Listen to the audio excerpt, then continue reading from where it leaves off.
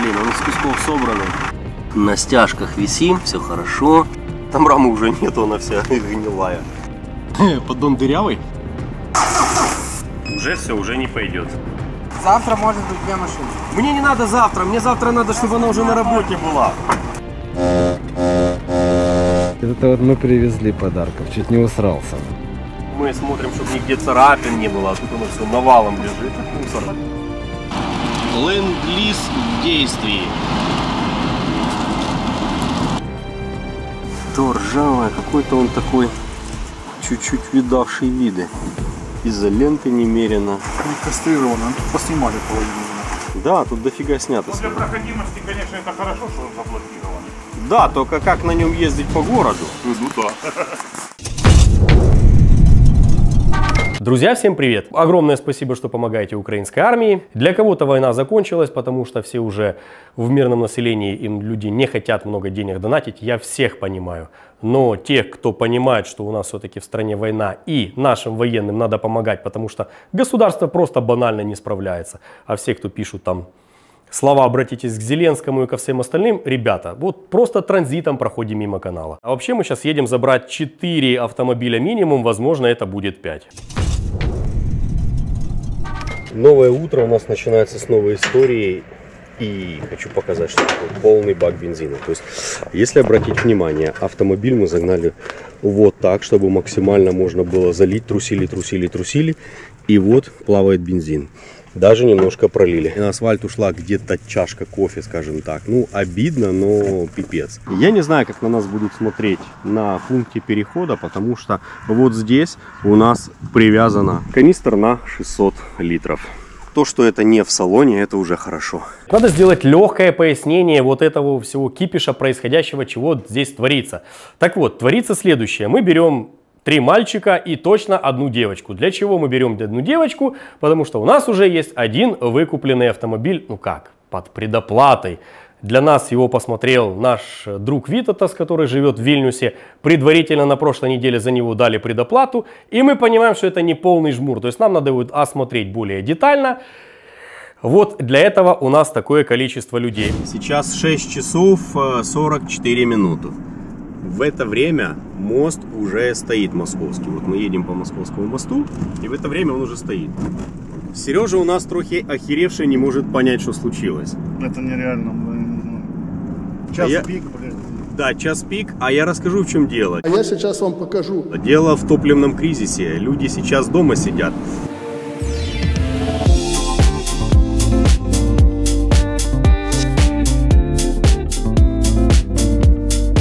Заехали мы уже в Ровенскую область, и люди на нас очень сильно обращают внимание.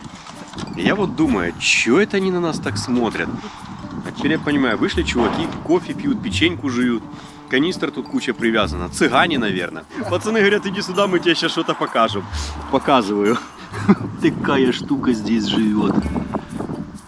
Но еще пока не спускает. Так это не один, есть еще один. Еще один живет в переднем левом колесе. То есть у нас на 4 колеса в автомобиле есть два гвоздя, которые живут, которые пока не спускают. Но домкрат нам мне уже подарили.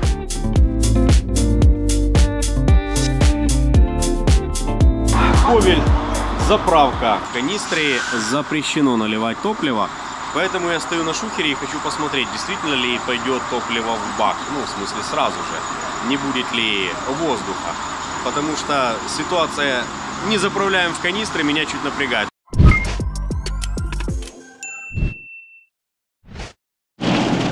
Дождь это хороший знак. Блин, надо дождь уже прекратился. Уже неинтересно только что такое было. Ах, дождь, дождь. Но уже все, дождь уже закончился. По легковому, по зеленому коридору впереди сквозняк. Ну как сквозняк? Стоит одна машина. Но это все равно, что машин нет. Всю Польшу мы пролетели транзитом и сразу же прилетели в Вильнюс. Вот такой дождь идет, где-то вот поливается. Пусть поливает. Мы сейчас будем заправляться. Короче, чувствую себя бомжом, потому что копаюсь в мусорнике. Сифон, борода. Короче, смысл в чем? Смысл в Реально, мусорник.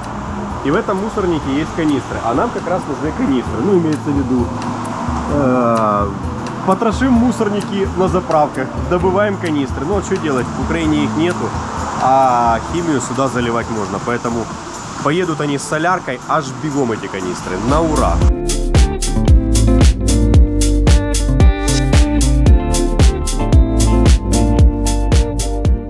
Для нас подготовлено два автомобиля. Я ему звоню перед выходом, и дружище, мы едем за... Да, приезжай! Я говорю, мы уже едем по Польше. Да, да, все нормально, приезжай. Мы уже едем по Литве. Да, конечно, приезжай. И мы приехали. Говорю, Мы смотрим, чтобы нигде царапин не было, а тут оно все навалом лежит, мусор. То, на что мы ехали, его не то чтобы не починили, его даже на СТО не пригнали. Мы ехали на Pajero вагон, который должен быть, быть 2006 года. Нам показывали фотографии, нам говорили, что поменяют всего лишь один датчик. По факту никто нифига не поменял, и эта машина даже не приехала на СТО. Ну и кто он после этого? Ну, чтобы не сказать козел, то просто бизнесмен такой с маленькой буквы, который решил по-быстрому срубить денег. Других слов у меня нет. То есть человек, который понимает, что мы едем, мы ответственные, мы подготовились, а он забил болт с левой резьбой на наши просьбы. Ну, вот такие вот люди встречаются на нашем пути, куда ж без этого. Но у него есть дофигище всяких других автомобилей. Смотрим.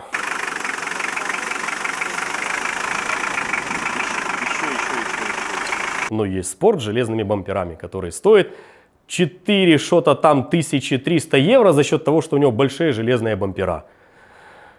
Мы решили покататься на этом автомобиле, посмотрели, ну, что у него уже есть э, грязевая резина, у него уже, короче, машина типа подготовленная, классная для армии. Как раз русню лупить бамперами железными нифига не будет, все разлетается в разные стороны.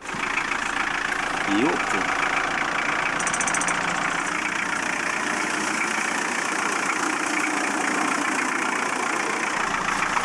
Блин, он из кусков собранный. Загоняем обратно. В данном случае вот эти вот литовцы, ну, одного зовут Эдвин, второго не помню, ребята такие, ну, хитрые, быстренько сделать там бизнес на войне, потому что у них дофига всяких автомобилей, но они их так, Типа, если машина заводится, едет, то все, она уже классная. Парни, смотрите, вот неделю назад я говорю, мне эта машина интересна. Эдвин говорит, мы ее сделаем. Я звоню вчера, она уже готова, сделана. Звоню Ну, с... смотрите, еще один есть такой же. Но он не приехал. Я думал, получше вам отдам, что готовы. Ну хорошо, мы, мы уже приехали. Нам сейчас надо девчонок отправлять в Украину. Ты меня ставишь перед фактом, что эта машина не готова, а второй нет. Вторая может... Завтра может быть две машины. Мне не надо завтра, мне завтра надо, чтобы она уже на работе была. 4 500. Три с половиной. Да, очень. Дорого стоит. Ну, грязные бампера. Так, блин, сними бампера повесь такие. Мне не нужны железные бампера. За полчаса повесил. Вешайте три с половиной, да? Да. Короче, железные бампера нам не нужны, машина говно, у нее ржавая рама, с нее все течет, короче, эта машина неинтересна. Хотя я ему говорю, ставь обратно сюда пластиковые бампера, и мы ее заберем за три с половиной. И да, и нет, и да, хорошо, приходи завтра, в общем, все ничего, но у нас есть еще одна машина. Пошли посмотрим на эту машину.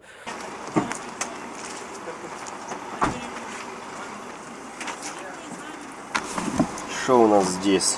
Остатки былой роскоши, топили его. Да. Ага. Окей. Чуть-чуть подтекает. Я думаю, что очень неплохо. Стой, стой, стой, стой, стой, стой, стой. Давай, наверное, вместе проедем. Сигнал не, не работает. Если хотите, можете с нами, чтобы вы не думали, что мы убежим. Мигает э, раздатка, но включая горит постоянно.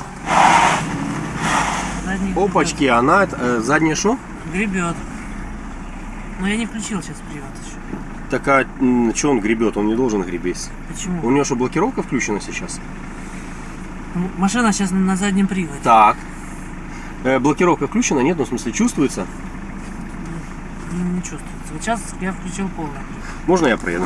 Акцентирую внимание сейчас на синем Pajero. Почему на синем? Потому что потом были еще зеленые, черные, красные и все остальное. Так вот, что касательно синего, этот не упилок, он живой, да. Короче, из этого автомобиля у него целая рама, у него нормальная силовые агрегаты, скажем так. А, все, я теперь понял, что гребет. Это вы трохи газу даете. Ну все, да. да.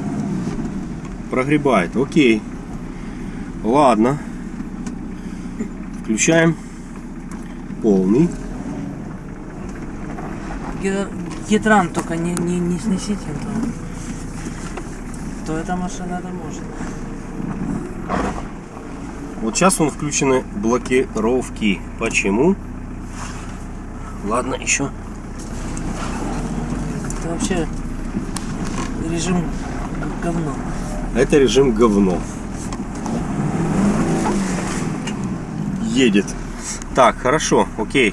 Есть вопросы, но они все быстро решаемы. Поэтому эту машину мы забираем с учетом того, что для нас ее держали неделю, посадили в этот автомобиль Нину, отправили ее в сторону родной земли. Нину мы сейчас отпускаем. Машина в технически, практически исправном состоянии. Все недостатки я рассказал, как с ними бороться. Ну, в общем, те недостатки, которые есть в автомобиле, в обычно, обычной дороге ее не затронут. То есть они не нужны. А в Киеве мы уже все сделаем, все починим для бездорожья. Еще раз акцентирую внимание. Машина классная, за свои деньги очень хороша. Э, 3 350, 3350 евро обошелся этот Pajero. Э, Торги были 3700, сначала первичная цена сторговали на 3500. И когда приехали сюда, уже дожали его на 3 350. И что? А, ну и все, да, 3 350. Вот она едет до темна, она понимает, что когда темно, надо уже ложиться спать, где-то искать гостиницу. Девочка, она обученная, но сам факт того, что она пошла на старт в этот же день сразу, и забегая наперед, это единственный автомобиль, который доехал вообще без каких-либо проблем. Среди всего того, что есть, э, тут только одна машина живая, все остальное тут мертвое. Можем зеленый показать. Сегодня Но он э, не собран ничего до конца. Можем так. пошли. Идем смотреть еще один автомобиль, который у них там спрятан в боксе.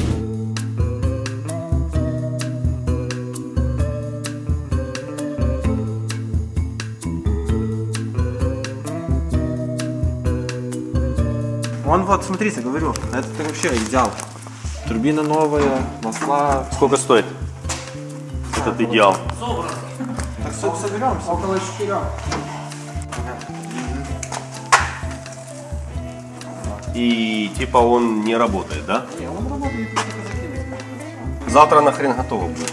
Нет, соберем завтра, что-то я собрать. С утра начнем до обеда. Есть еще один Pajero Sport, который был, наверное, белого цвета, стал зеленого.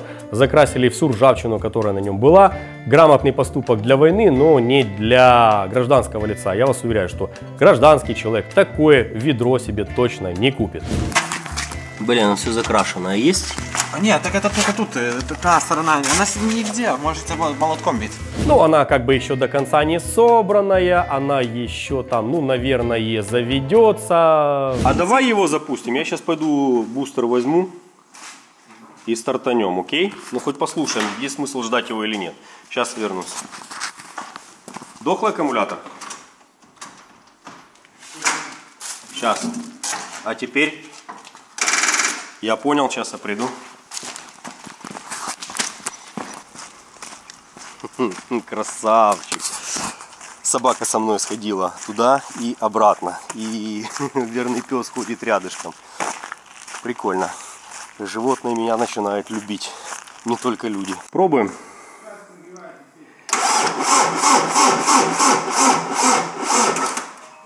Хорошо, давай по-другому.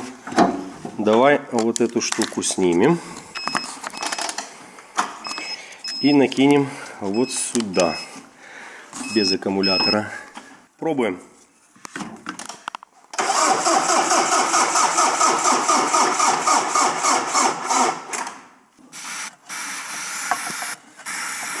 Это, Сергей Викторович, называется эфир.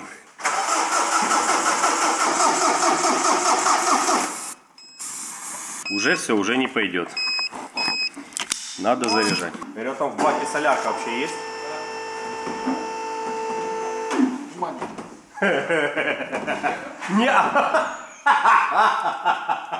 Ну я на него катался, он на ходу полностью, не трещат, не настыгивает. Ну окей, хорошо, смотрим.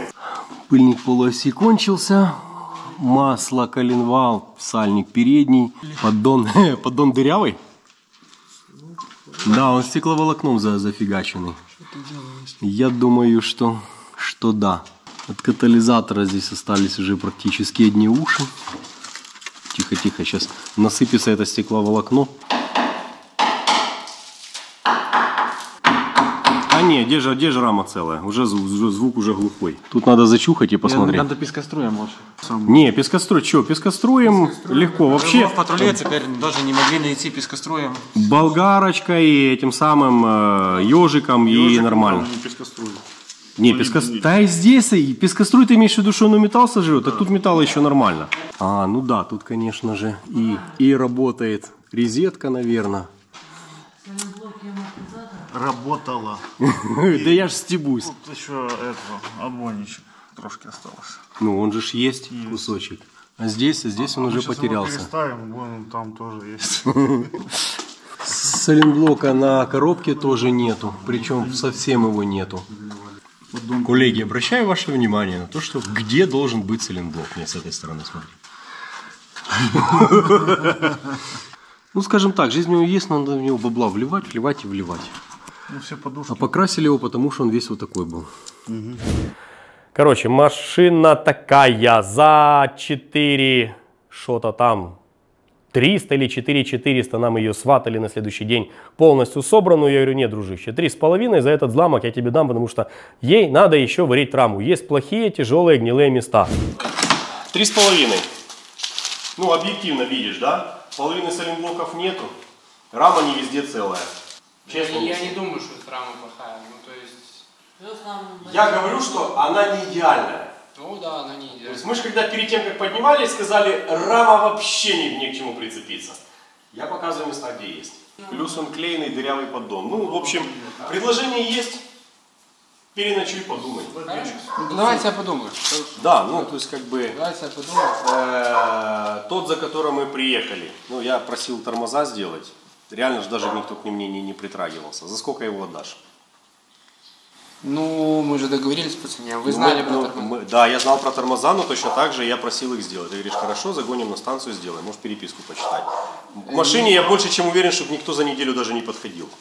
Я не душу за горло, я просто объясняю ситуацию, где ну, вы чуть-чуть поступили не очень ответственно, назовем это так. Поэтому прошу компенсировать стоимостью автомобиля. Блин, ну я и так уже там минимум сделал, что мог сделать. Это уже минимально было, знаю. Этот автомобиль нам предлагали за 4 300 или за 4 400, я уже точно не помню.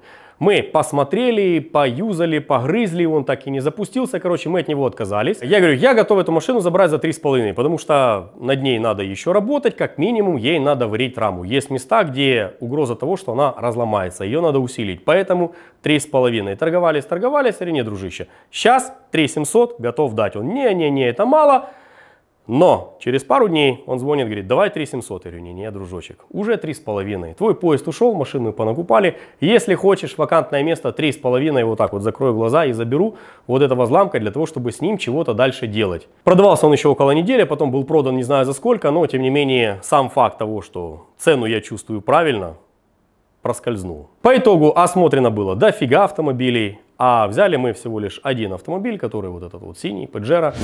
Идеального плана не получилось. В этом мусорнике мы одну машину отобрали, и то к ней дофига вопросов, но про эти вопросы я еще знал неделю назад. Сказать, что машина мрачная, нет.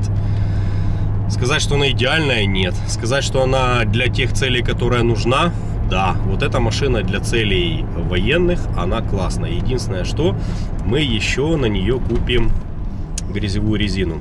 Так, чтобы действительно эта машина пошла по полям, чтобы эта резина не замыливалась. В Украине 4 4 200 стоит одно колесо, вот приблизительно вот так. Ну, имеется в виду 31 32 грязевое.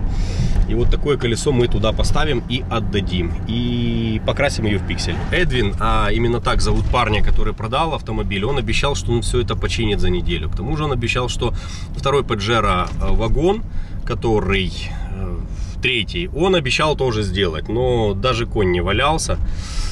Вот. Поэтому из-за необязательных литовцев сейчас направо мы попадаем, попадаем на минус время, на минус гостиницу. Короче, гостиница, вот вход. И э, вот, вот, как бы, вот, вот, э, надо подниматься наверх. А вдруг бы мы были инвалидами, вот, например, свет выключил. Ё, так я тут реально не помещаюсь. Бочком, блин, Николай. Сука, что за день сегодня? Блин, мне рюкзак мешает. Это шляпа, где наш душ? Нема. Блин. Так, что-то есть. Ну, короче, отстойный номер. Ну, хоть три кровати есть. Сережа будет спать вон там. Нет. Ой, блин, все мокрые кофты надо поснимать. Хух, я прозрел. Я увидел свет. Да будет свет. Так, что у нас здесь? Горшок есть, душ. Есть какой-то там аллергенная вонючка такая. Насушить, повесить куда-то. А На стулья куда вешать? Больше некуда. Батареи, наверное, не работают. Сейчас мы...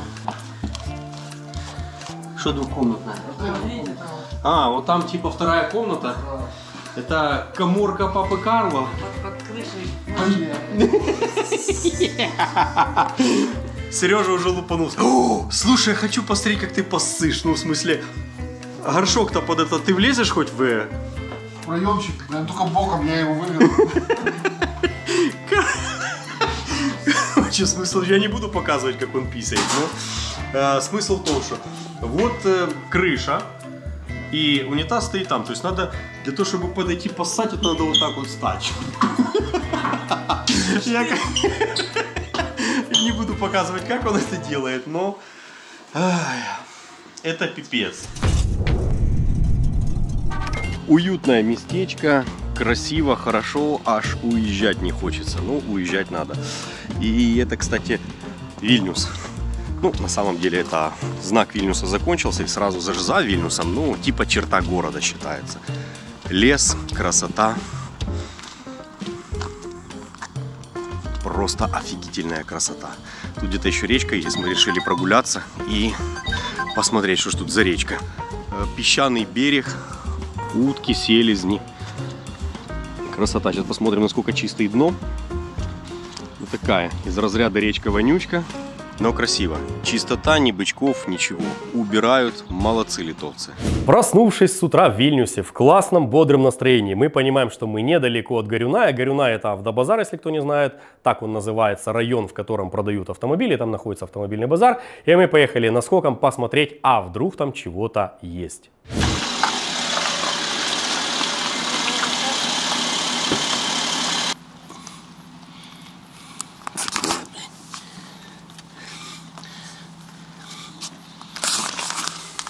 Он чуть-чуть усыкается.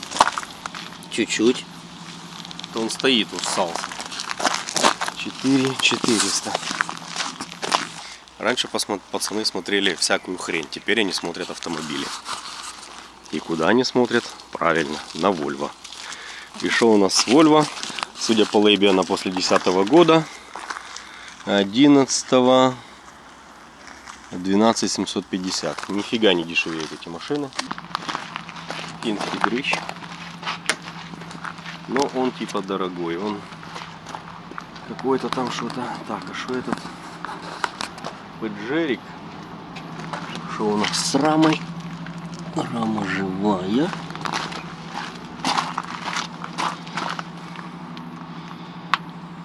Ну, плюс-минус. Заскочили мы на этот авторынок, Горюнай. Пипец, ребят, тут все дорого. И причем так, неоправданно дорого. Есть машины в интернете, которые тупо дешевле. Тут интересно Вильнюс тем, что сюда все приезжают, и отсюда дальше уже никто особо не едет. Я предполагаю, что только поэтому такие тупо невменяемые цены. Дорого.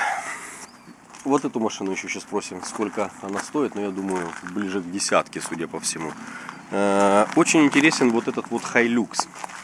Но этот Hilux стоит 5,7. 5,7 за машину это трохи за дофига. Хорошая рама. Руль от Volkswagen. Toyota Hiace самый лучший представитель среди пикапов. Вот на Hiace С трехлитровым мотором это вообще, ну вот просто вверх того, что нравится джиперам. А то, что нравится джиперам, соответственно, очень нравится военным. Поэтому машина классная, но она трехдверная. Военным трехдверная не подходит, потому что много людей туда не напихаешь, много груза не наложишь. То есть для маневренности машина классная, разве что поставить сверху пулемет и фигачить, но только вперед. В обратную сторону там уже места мало. То есть э, рельсу с разворотом там не поставишь, просто банально тупо мало места. Ну и получается один водитель, один э, пассажир и можно одного или нескольких человек посадить в кузов. Кузов у нее маленький, поэтому этот автомобиль для военных большого интереса не представляет, потому что два места впереди, дофига вещей не положишь, ну да, проходимое, но на этом все. А смысл же в том, чтобы напихать побольше, насадить побольше и поехать подальше. Вот была бы она четырехдверная с длинным кузовом, а вот тогда было бы счастье. А так, просто ржавое несчастье. Такой трохи ржавенький. Зато аморти- амортизаторы держат. Nissan Европы. Такой он весь, блин, мокрый. Этот мотор. EGR заглушенный. Или там такая алюминиевая прокладка стоит. Рама. На стяжках висим, все хорошо. Накладочка. Да, хрен с ней с той накладкой. Там рамы уже нет, она вся гнилая. Это трохи кочмарно. Ну, фигня. Под устал. Да и плюс он сильно дорогой. Да и плюс уже на стертых колесах, тут от таких колес одни уши остались. Nissan очень дорогой, классная машина, но дорогая. То есть с нее можно забрать мосты, с нее можно забрать двигатель. Короче, машина переоценена. Все наживаются сейчас на войне. То есть если раньше такая машина стоила полторы, то сейчас в районе пяти. И то, что она ржавая, вот если она заводит, запускается, простите, и едет вперед, это уже по меркам Литвы и других стран надо брать. Ну, а нам не совсем такой подходит. Toyota Land Cruiser был в районе десятки. Кому интересно, вот такой экземпляр в Украине можно купить за те же самые деньги. Поэтому какой смысл ездить на бляхе, когда можно купить нормальную украинскую машину? Да, пусть она там будет с большим пробегом, да, возможно, и будут вопросы, но она уже имеет украинскую регистрацию, она уже имеет растаможенную историю, и эта история будет жить после войны, естественно, если машина это доживет. А вот эти вот, которые завозятся, они только могут жить в рамках военной части с черными номерами. Дальше их поставить, растаможить, по крайней мере при действующем законодательстве, точно не получится. Поехали в Янаву за фаркопом. Ленд-лиз в действии. Поверните налево. Спасибо. Что-то какая-то странная традиция. Мы как приезжаем в Литву, сразу начинает фигачить такой дождяра. Что в прошлый раз, что в позапрошлый, что сейчас.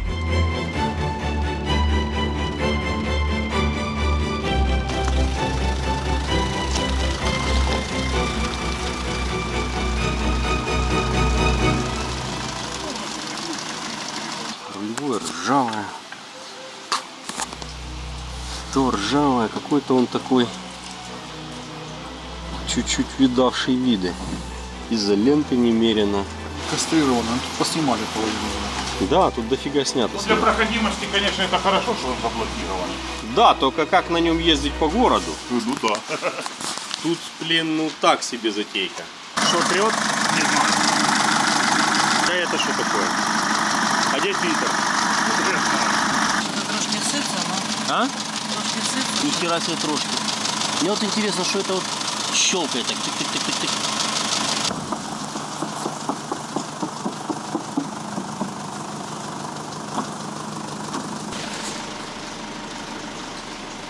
Остатки от люстр. Люстры уже поснимали.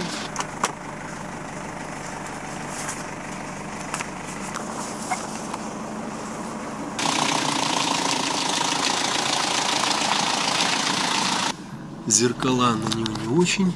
Сцепление у него посерединке.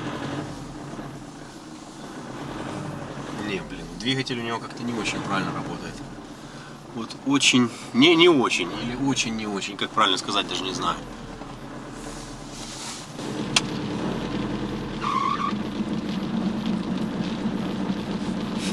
Тяжело ему. Аж мотор у него нагибается. Заваренный задний дифференциал. ну, скорее всего, заварен. Я не вижу здесь кнопок, которые... Ого, тяжело. То есть для говна это, конечно, классно, это все замечательно. Понижайка. Ну, понижайка работает. Но гребет он, да, аж, аж, блин, надрывается, бедняжка.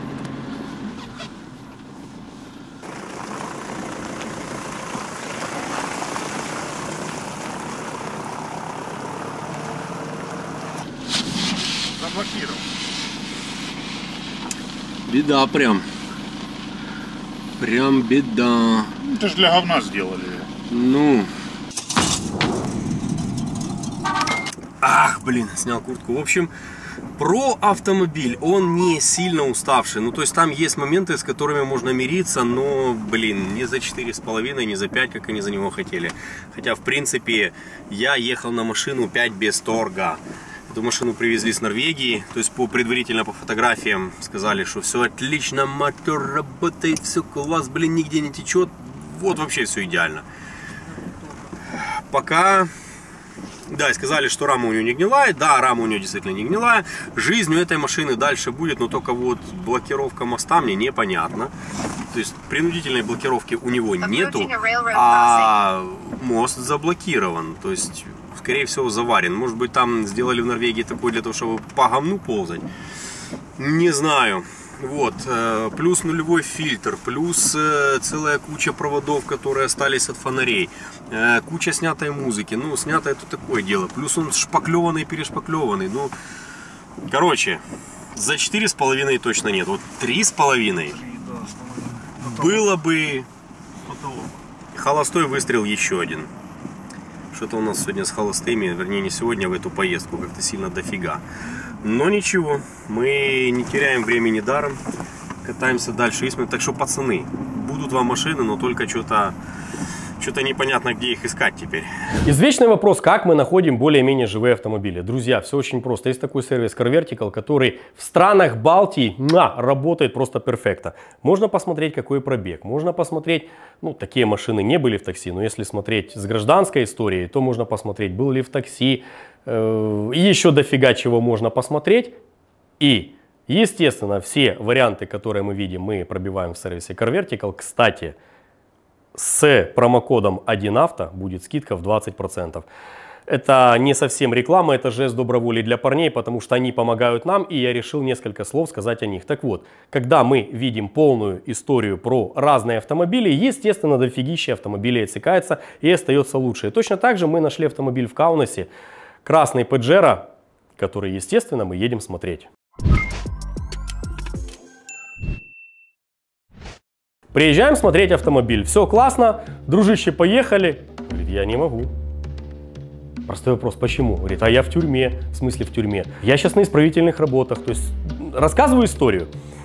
Парня когда-то взяли за пьянку и посадили в тюрьму. То есть его споймали пьяным за рулем, посадили в тюрьму, вот он год сидит в тюрьме. А для того, чтобы он с ума не сошел, с понедельника по пятницу он работает, получает зарплату, живет в тюрьме, кормят, поет и на выходные отправляют его домой. Так вот, в момент, когда мы приехали, он как раз находился в этом исправительно-трудовом лагере, копал траншеи и продавал автомобиль.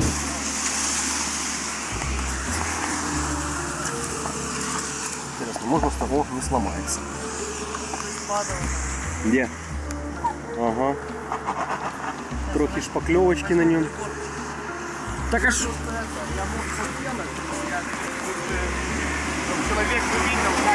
Ну да. Ой, блин, вонючечки такие стоят. Но такой здесь запашок, конечно, блин. Как будто бы мясо возили. Какого он года? 95 да. У него еще насос механический или уже электрический?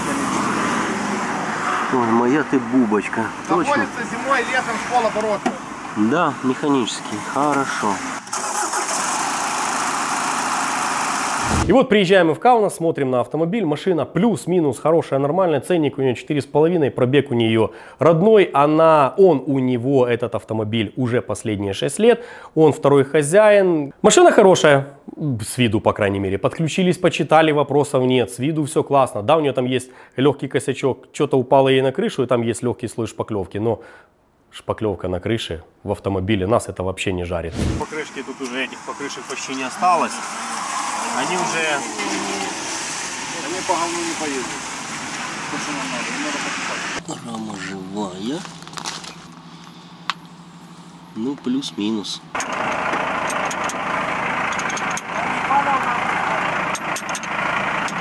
Короче, из минуса у этой машины у нее шпаклеванная вот эта сторона, но нам как бы пофиг, что она шпаклеванная. И сверху что-то на нее падало, придавливало. Но рама и мотор у этой машины просто классные. Ну вот, я чуть отошел, за Сережу спрятался, чтобы эмоцию не показывать, но пока вот это лучшая рама, которую мы видели, не знаю, за последние недели-две. Мы на ней покатались в разных режимах, дали под хвост, то есть сделали нормальный тест-драйв. автомобиль. Он только что наваливал, ну имеется в виду, делал большие обороты двигателю и мотор не дымит вообще. Вот эта машина классная. Хрен с ней, что у нее шпаклевка на крыше. По бобику, что у нее сбоку шпаклевка. Вот такую машину, если вот так закрыть глаза, ее даже можно гражданским рекомендовать. Имеется в виду закрыть глаза на то, что у нее на крыше шпаклевка. А, Для военных это вообще подарок судьбы. Надо брать, надо торговаться, он хочет за нее дофига, у нас есть мало. Давай, 3600 это Сделай плохое дело для Украины. Это, это даже не наши деньги. Короче, торговались, торговались, я ему там доставал уже помятые купюры, чтобы добить до 4000 из карманов. 4, больше нет, окей, отдаем за 4.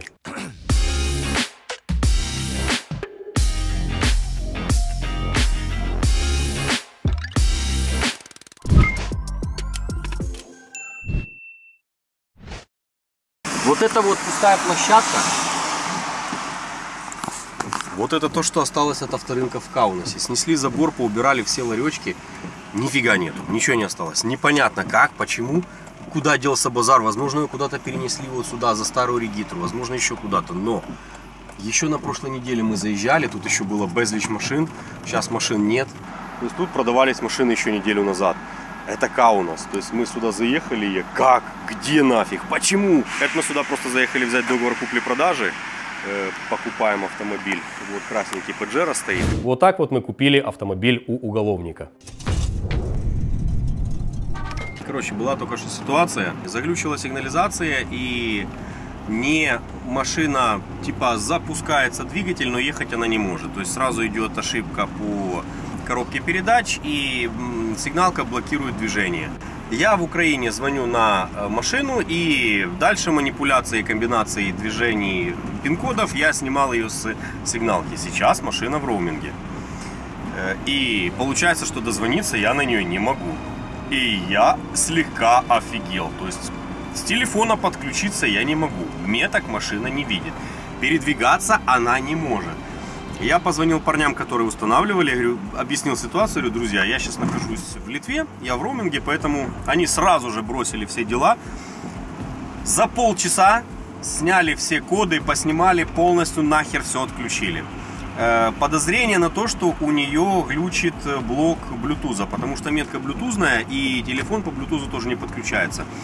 Сейчас машину, сигналку поставили в аварийном режиме и все ее нафиг отключили. Поэтому сейчас мы едем без сигнализации. И минус 40 минут жизни и трохи изжоги в чужой стране под проливным дождем. Ну так себе затейка. Короче, было не очень весело, потому что нас на другом конце Каунаса уже ждет Александра для того, чтобы передать ей машину. Чтобы было понятно, она с Сувалок, Сувалки это город в Польше, пока заглючила сигнализация, пока мы разбирались с этой херней, она приехала в Каунас и стоит нас ждет под дождем, поэтому ну, да неудобно это, наверное, не то слово, как бы. Я, я даже не знаю, какое слово применить. Это Привет, начальника. У меня все хорошо. Я в 15 километрах от Люблина. Э, Люблин проеду и буду где-то там близко к границе смотреть ночлег. машину оставили девочки Саши, а потом дорога у нас в Поневежец. И я думаю, что в Поневежесе мы сегодня и заночуем. Гостиницу надо искать в Поневежесе. Сейчас рассказываю, что случилось. Собираю я рюкзак и распотрошил я его полностью. И руку вниз только фигак, а здесь патроны. И я в Литве. То есть я с этими патронами Так это уже второй раз уже катаюсь. Я рюкзак... Я два раза границу проходил с патронами. То есть, получается, с Украины в Польша, Германия, Чехия, обратно Украина, потом выехал с Украины, Польша, Литва.